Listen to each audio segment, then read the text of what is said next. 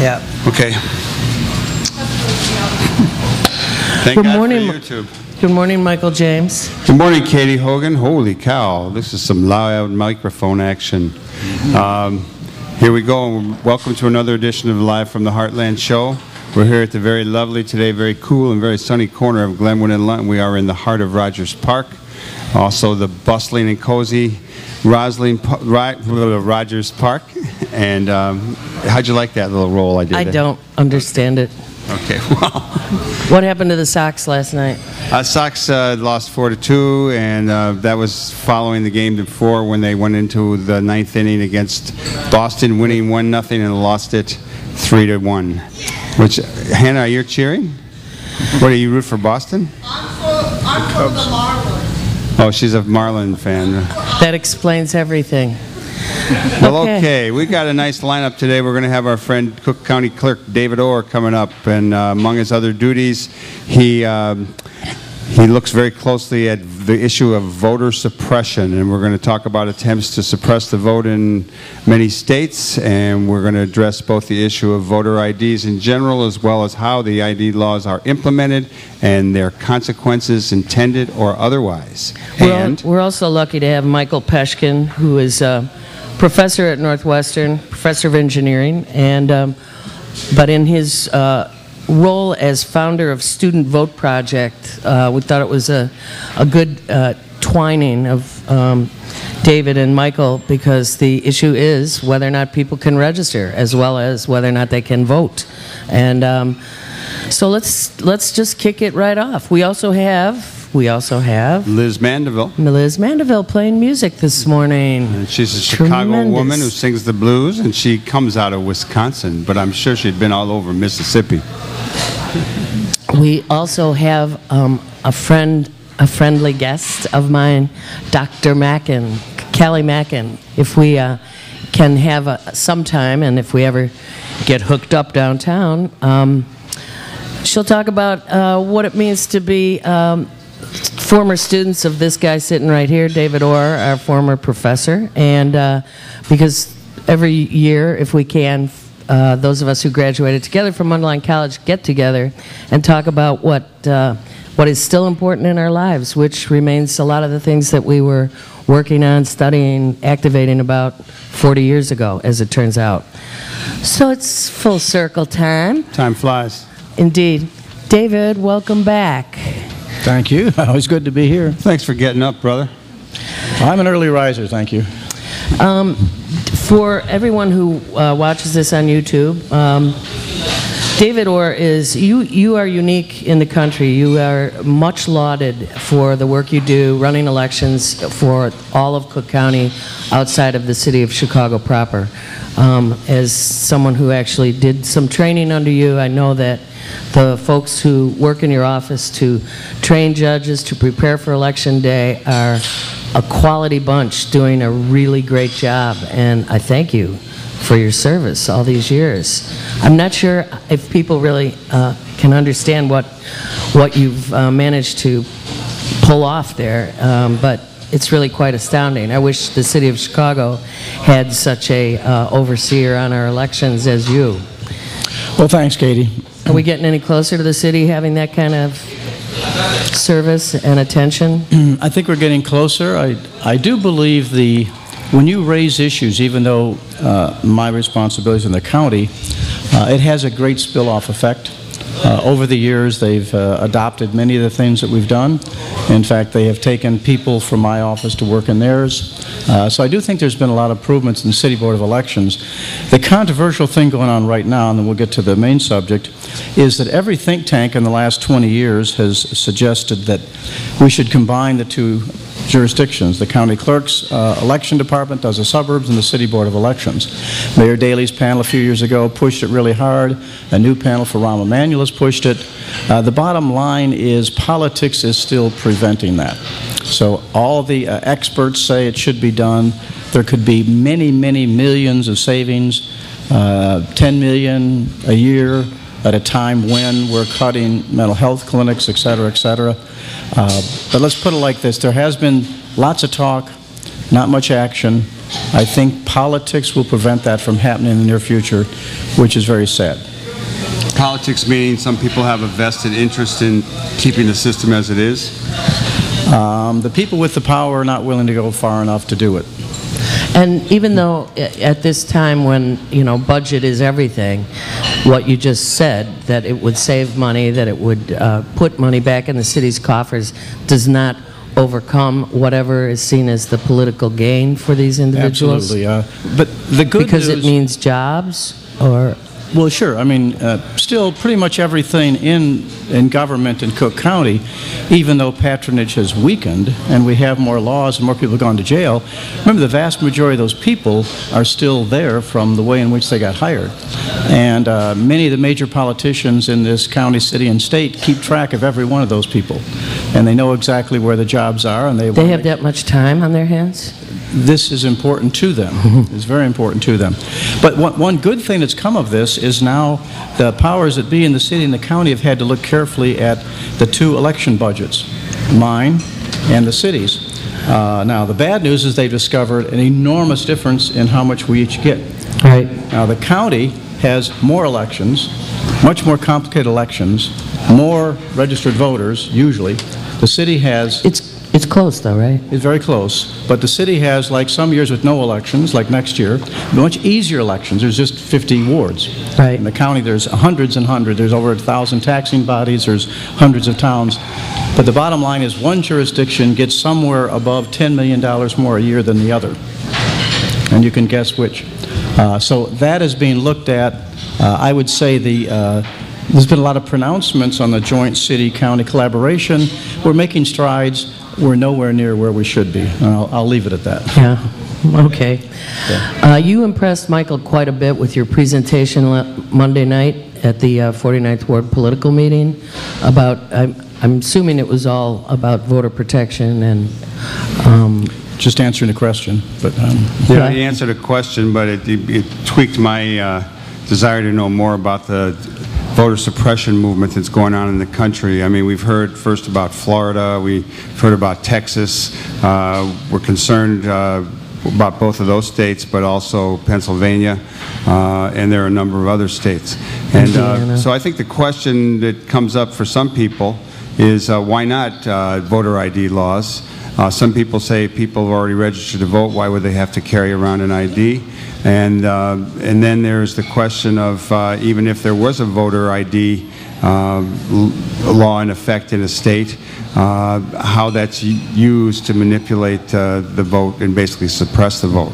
So give us a little bit of your uh, insight into this overall issue that's very crucial at this time. If you don't mind, make sure I come back to the specific question. But let me just give a quick context. I mean, it's, it's, it's important. It, it's corny, but we know this stuff. For thousands of years, the way people s- settle decisions like this was through violence.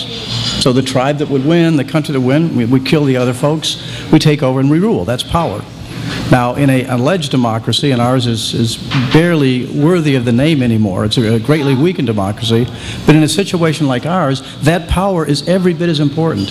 The power to declare war, the power to tax is every bit as important as when Genghis Khan was conquering everybody. So, it's so naive of many of us to assume the way to accumulate that power. The naive don't realize that government has enormous power, and so they give up a lot of it by not participating. The insiders know elections will determine enormous power and make the millionaires billionaires, et cetera. So we got to remember that. And they know that elections are often decided by that small number of people who are kind of in the middle of the road and maybe switch from Democrat to Republic.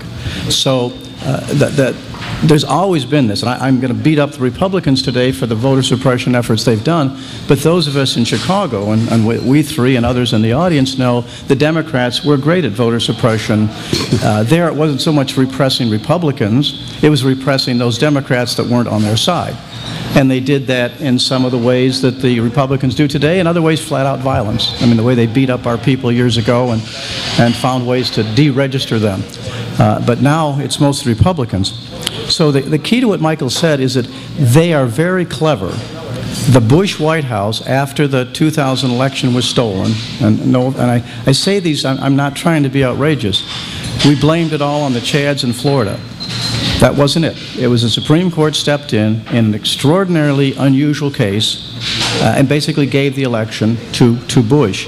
The Bush White House began immediately because they know they didn't win the election. They know they didn't have enough votes.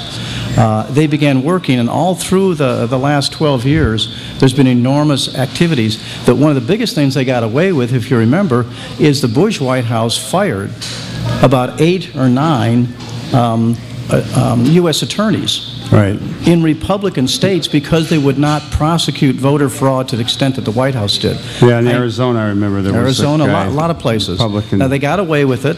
Uh, when the Democrats took control, they were, as usual, mamby-pambies and did nothing. Uh, but I, I say that because these people are. Mamby-pambies. I know some of them, and they're very clever. When clever means is, if you just ask about photo IDs, most Americans would probably say, well, of course, why not? Okay, so get to the heart of it, is two things. We have to decide if the photo IDs, the way it's being implemented in some of these states, is really to fight fraud, as they say, or really to decline certain major Democratic populations like blacks and Latinos and young. So let's look at some facts. Uh, first of all, uh, every group that's looked at this says there's almost absolutely no truth to the widespread fraud they're talking about, particularly when it comes to voter impersonation. That's what the voter ID is supposed to say. Now, in most places, you have to prove who you are when you register. And in most places, you go to the Secretary of State's office, you're there in person, you got your ID. So that's the way we register. In most cases, though, we don't require it at the polling place uh, for the following reasons. Uh, so that's the history, but they understand um, people, well, why shouldn't they have? So, first of all, there's absolutely no evidence that fraud is the way it should be. Okay, and every study shows that. I think it was might have been the Brennan Center, but somebody, Brennan Center, came out recently and said you're six times more likely to be struck by lightning than get convicted of voter impersonation. Okay? Now, not that we shouldn't be concerned about fraud. Again, what I started with, we know what people can do. We should be concerned. But the voter ID is to stop voter impersonation. Just one good example because of time. So we take Texas. Texas passes the law. Okay. Now, in Texas's report and brief, they could find not one single case in these 10 years they reviewed of voter impersonation. But they did admit in their brief that roughly 700,000 Latinos did not have the requisite voter ID that the law just passed. So uh, there are decent people that think this is okay. I'm talking about the motives, and there's probably decent people that don't understand these motives. Let's go a little further to prove the point. So in Texas, the reformer types, you know, Eh, suggest several amendments. Because down the road, voter ID, if we had it, photo ID at the polling place, a few years from now, when everybody could get a free one, when it was guaranteed access, we, we dealt with all the problems, like in Pennsylvania, 11% of the entire population doesn't have one. Okay, that's a lot of votes. Okay, 11% of those registered to vote don't have it. So back to Texas. So what the reformers said, okay, since we, we can't win this, let's amend it. So let's say, first of all, that if you're really poor and you can't afford this, and this is like a poll tax, that the state will pay for it. They voted that down. They voted down several amendments, including one that there's 81 counties in the state of Texas that do not have a Secretary of State's office. And somebody said, wait a second, if you're going to make people go to get that and able to vote, let's at least put a Secretary of State's office where they can do it. The answer to that was no. So if you look carefully at all these things, it's an absolute uh, refusal to do anything which, which legitimize a photo ID. Let's take something uh, dear to uh, Michael's, uh, the great work that he does up at Northwestern, who's coming up in a moment. So. That would be Michael Peshkin. Michael Peshkin, Professor Peshkin from Northwestern. So um, everybody says we need to get young people involved, right? Students, it's great for them, blah, blah, blah. Okay, so in Texas, uh, part of their photo ID is that if you're a student in Texas with a government-issued student ID, that's not good enough. So the state of Texas gives you an ID, you can't use that for voting. Jeez. So just to make it simple, um, most of these are very clearly planned to hit at certain populations. Uh, the ideal is swing states. Now, unfortunately, some Democrats have uh, been on the bandwagon because they don't think it through. Uh, they don't understand some of these things. Uh, all of the um, ob- objective groups would agree with this. Uh, even worse, other parts of voter suppression, as you might know, in Florida, which is probably the worst of all in many ways, Florida went ahead and passed an extremely dangerous voter registration law, because remember, after the Bush White House and others destroyed Acorn, which is a very legitimate group that was registering poor people throughout the country, Right. they go after voter registration, and they made it so um, difficult that the League of Women Voters actually had to say, "Uh, we quit in Texas. Because what they were saying is, you register these people, you've got to bring the cards in within 48 hours. Now, that's like saying to someone, a League of Women Voters person who lives in Elgin, and every time they register somebody, they got to bring it all the way downtown. Now, does that make any sense? But that was the law, and furthermore, you'd be seriously fined, so they could have been wiped out. Now, for the little bit of good news, I'm sorry if I'm going too long, but the good news is the Obama White House finally got moving. The Justice Department uh, knocked out Texas and South Carolina, although it's still in court. Wisconsin struck down, uh, the court struck down Wisconsin. Florida's had several wins and losses in their battle, and in this case, the registration one was knocked out. So, uh, So, wait, which means the League of Women Voters can go back and register people. in Florida? Right. And did you say they struck down the Texas? Well, here, here in, in the South, we, because of the civil rights laws, thank God for them, uh, we have to have something called pre-clearance. Right. Because the history of discriminating in their voting says that when, when the southern states, most of them, pass laws affecting voting, it has to be cleared by the Justice Department. And the Republicans have been enormously fighting hard to take that away in the last 20 years. Fortunately, they haven't been successful. So uh, the Justice Department, under Eric Holder, struck down South Carolina and Texas as a couple of them. Now, but they have a right to go to court. So that, that is in court as we speak.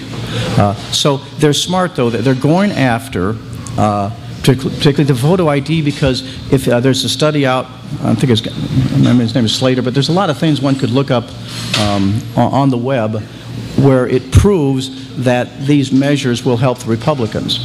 Um, Like I say, Pennsylvania, 11%, but when you look at the 11% of, of people that don't have them, the vast majority of those people are black, brown, and very elderly. Uh, And so you, you do that in every state, and you find that. So besides the photo ID, besides trying to stop students, um, and besides trying to make registration more difficult, um, they've also tried to kill same-day registration. But a good thing happened, I believe, in Maine. Um, They actually passed it. The voters were so angry, they demanded a referendum, and they put it back. Remember, same-day registration is something I support. It means that even if you didn't register, that you can still go vote on Election Day. And register at the same at the same moment? time. Let me ask you a question about Texas, where you uh, pointed out that uh, a great number of people who are uh, basically disenfranchised through voter suppression uh, can't even find a place to register in their county. I would assume most of these people don't have driver's licenses, so they don't, how would they get to, you know, it's just an added burden to get to the next county. Right. So, so the key to this, like I say, is uh, we can, should talk about what we do about it, but the key is if there's a certain kind of, a very restrict photo ID. Now, if you say you can have photo ID, but you can use all these other things, that's a little more lenient. There's supposed to be a law if you, and the law is supposed to say this by courts. If in fact you do require that, the states are supposed to pay for it. But they found ways not to do it. Uh, So um, what you need is a photo ID. That, that you get from the driver's facility, or a state ID, like we have in Illinois, that you're not a driver, but you get a state ID. Right. Well, yes, in many cases, you need other identification. You need a birth record. So again, the reformers in Texas said, why don't we give the poor a free birth, birth record so they could go in Secretary of State's office and get a photo ID? And they turned that down, too. So you, you did talk about pushback from like Holder uh, and others. How much, how extensive is the pushback? Do you think it will be effective? Do you think this, uh, this uh, wave of voter suppression in uh, swing states and Republican-controlled states uh, is uh, continuing, will have a big impact? Or do you think we'll be able to nip it in the bud enough to this election so it's not uh, a A draconian situation? Well, first, first the good news, and then I think the challenge to it is, like we say, at this point, Wisconsin's was struck down. Texas and South Carolina are in the pits at the moment. Uh, There's been some success in Michigan. Pennsylvania is, is up to challenge. Uh, Some of the red states, uh, I don't think they're challenged as much, but it won't matter. They're going to win that state anyway. So things are up in the air, which is good. But what people need to do uh, particularly in the swing states, is to find ways first to identify those. A lot of people don't realize it. Uh, Again, there's, I I figure that there are more seniors in Pennsylvania without the proper ID than the city of Pittsburgh. Wow. Say it again. There are more seniors in the state of Pennsylvania without the proper ID than the city of Pittsburgh. We've got to get Carl Davidson on that. So the, the key is those people need to be identified. They need to understand it. Some of them will go on their own to get the proper ID if, if in fact we don't win these court battles. Other times there may be people that have to help provide financial assistance or rides to people so they get the correct ID. Um, it has the potential to be devastating. On the other hand, uh, we're aware of it now. Legally, we're winning a number of these cases. Um, So I I do believe uh, we can minimize the impact in the short run. What should activists be doing right now about this? Well, they should be supporting all these efforts legally and politically, making a lot of noise, and making it hard for those people that pass the legislation or even support it. Uh, They may not have been successful here in Illinois, but many people support it, and they should be taken to task. But above all, where there's organizing going on, to again identify those people. Uh, By the way, you know, you voted in the past, but you don't have the, I- it's a new requirement, and try and help those people to re-register in time. Um, I know that we're running out of time, and um, there's way too much I would like to ask you. Um, Well, how about we'll have David come back and talk more about voter suppression? Yeah, I think we should uh, regularly, I mean, in I think it's a between con- now... I think it's a continuing issue. It is a continuing issue. I was surprised when I got your uh, Democracy News this week that you were focused on TIF money, and um, didn't realize that that was in your bailiwick, and um, The nice thing about this job, most people don't know, I mean, why did I want everything's in your bailiwick. Why did I want to be county clerk, you know, 20 years ago? Well, elections was number one, but there's a lot of other things that we deal with, which means I can stick my mouth out there on other things, which I'm trying to do more and more. But uh, since... We since welcome that, Since we set the tax rates in the 1,500 taxing bodies in Cook County, we have a fiduciary responsibility to put out a